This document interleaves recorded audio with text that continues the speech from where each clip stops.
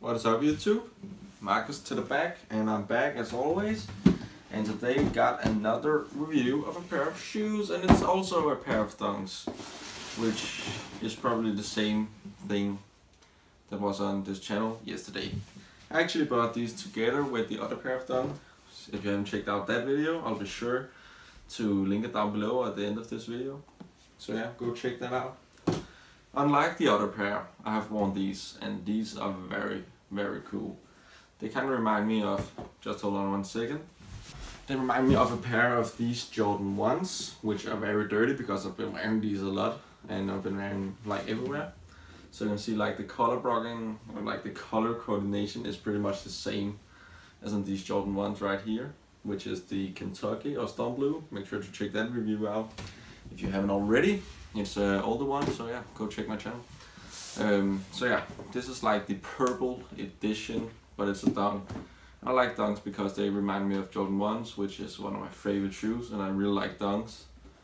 And yeah, you got like this purple and white leather upper, and you got like the synthetic tongue, which is white, and you got the purple laces, which are the same laces that you got in this pair. Oh, drop the other one which is the same as the suede pair. And uh, unlike the uh, suede pair, you got this purple outsole with white midsole, where the other were just all white. So yeah, just like a a storm blue Kentucky kind of thing. Drip a little lean in there, and you got this little small pull tab as the last shoe. I've been wearing these a few times I actually wore them earlier today and they are pretty comfy I would say. The most comfy shoes are probably like Ultra Boost or something like that, but Jordan ones are very comfy when it comes to like walking around I think.